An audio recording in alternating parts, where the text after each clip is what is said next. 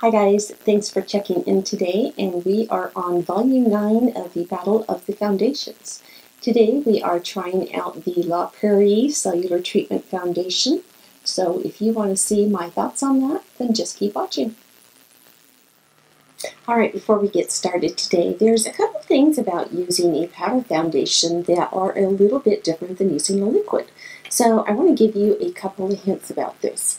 Uh, for starters, if you have any peach fuzz on your face, I strongly recommend that you do a little bit of shaving. So if you do not already do that, I recommend that you get one of these blades and just do a little bit of shaving to clean that up. The reason being is the powder foundation will kind of pick that up and highlight it is the best way I can put it. Um, it just kind of sticks to the hair and makes them lift up and they become a lot more noticeable. So I buy these Tinkle brands off of Amazon. They're really inexpensive and I've tried numerous different brands. These are by far my favorites. They do just an excellent job and I've actually gone over my face after I've used other brands with these and I am amazed at how much more of the peach fuzz that these can get. So I will leave a link down below in the description box and where you can buy these. So love, love, love these. Now the other thing that you want to keep in mind as well, because you never want to put a liquid on top of a powder, you want to get all your liquids out of the way first. So you'll want to do all of your concealers, your liquid highlighters, liquid blushes, uh, liquid bronzers, as well as any liquid contours that you're going to be doing. So those go on first and your foundation is going to go on last unless you have any other powders that you want to put on on top of that. Okay, so I have gone ahead today and I have done my priming as normal and I have done my color correcting under my eyes. But I have not done my concealer and because this is a liquid product, we want to get that out of the way. So I will be going in with my uh, Tarte Shape Tape and this is in the color Light. And I will be taking that under the eyes. Now you want to get this in every area that you would normally go ahead and conceal. I'm going to do a little bit down here because I have just a little bit of darkness. But if you normally go in and do any age spots or acne or anything like that, now's the time to go ahead and do that. If you highlight any areas, Again, now is the time. And I'm going to go ahead and just take this up on my lid and use that as my eyelid primer. Now, if you'd like, you can go ahead and use the foundation um, to go ahead and do under your eyes. But um, I want to keep this kind of light under my eyes, so I'm going to go in with my Cover FX powder and just lightly dust that underneath my eyes. So I'm not going to dust it, I'm just going to use this same little makeup sponge and lightly tap that on underneath. Not baking or anything, I'm just going to tap that on very lightly.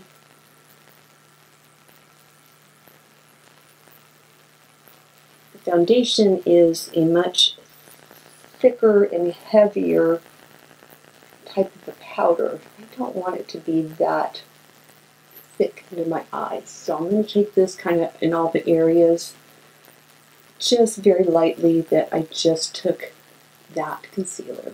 So let's take a look at this. Um, it came, see, it smudges very easily too. It's one thing I don't care for. Um, it does come with a nice little sponge applicator in there, and it does have a mirror in here. Believe it or not, I have found this funny little sponge applicator to be the best way to go ahead and apply it. Um, something about this just is the best way to do it. So excuse mine being all dirty and icky, but that is just the best way. So I just simply take it inside. And I'm going to zoom you in real quick so you can see how this applies and how well it just covers and gives just the flawless look to it. So just one second. All right, let's go right in here. So you can see I have a lot of redness. Um, I've got um, just some blotchiness and stuff. So I'm gonna go right there. This is a little bit darker, but I ordered this online and it was hard for me to get a true color match. Look at that.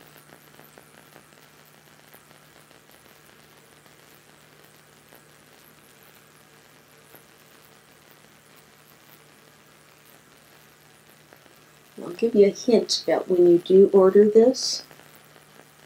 If you order it from a department store like Neiman Marcus or Nordstrom's or any store like that, you're going to spend $95. Google it online and once you figure out what your color is going to be, Google and look for that color. Depending on what you're getting, um, I was able to get this color off Jet.com for uh, like $60 and some change. So, get it for a lot cheaper. And Jet.com was able to use Ebates and get the cash back on that too. So if you haven't signed up for Ebates either, I have a link down below in my description box. You can sign up and you get $10 bonus money after you spend your first $25, which this would be 25 and tons of money. I've made, I think, close to $500 now off of Ebates, so I love using it. I especially love the fact now that when I use my web browser, I use their, um, what they call it, but there's a add-on you can add. So if you were go to, say, Nike or something to go shopping, up in the right hand corner, a little pop up comes up saying, Hey, Nike has a percentage off for Ebates. Do you want to open that and start earning cash back on the shopping trip? Shopping trip. So you cannot accidentally forget to earn money off of that, which is amazing. Now, I tend to save this for special occasions because it is a more expensive brand. And trust me, I have been on the hunt for a dupe for this that is a lower cost, but really haven't had much success. I wish. It's just beautiful coverage. It's perfect too. Oh, I just hit pan. Hmm. But it's one of those things that's also great just to throw in your purse because it's just compact and easy to just take with you. Um, again, I love the coverage of this.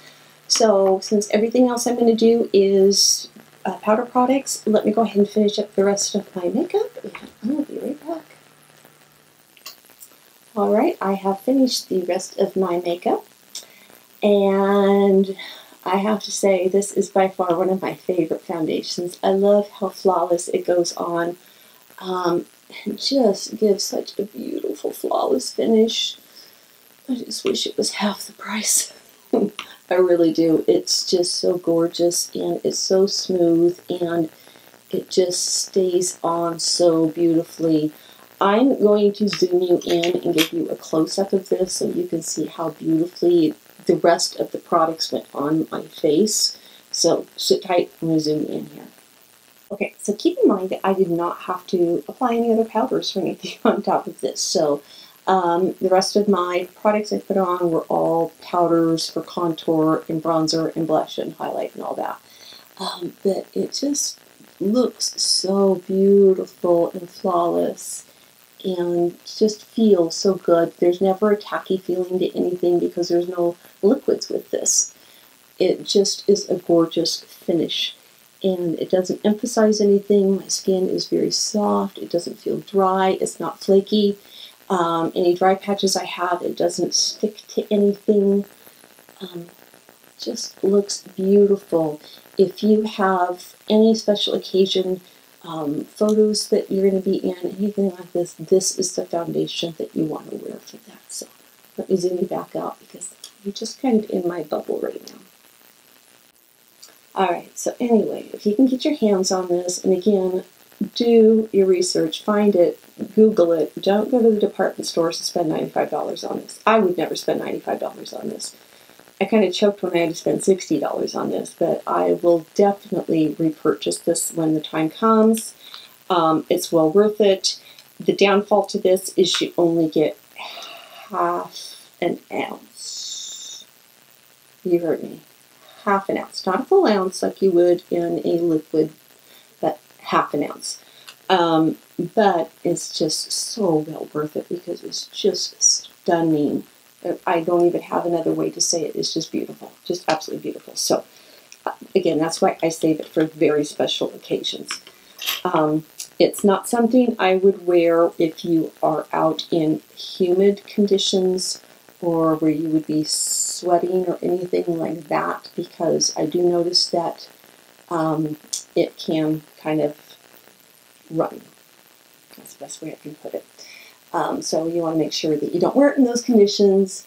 You can go ahead and apply um, your makeup setting spray. I did, so I used the Urban Decay All Nighter Spray and that really helps with those situations if you put a good layer on as well. Sorry, it's on. So anyway, if you enjoyed this and you're enjoying the series, please give this the old thumbs up. Feel free to leave any comments down below. Don't forget to subscribe to my channel as well. And I think that wraps everything up. Thanks so much for watching and love you guys. Until next time. Bye-bye.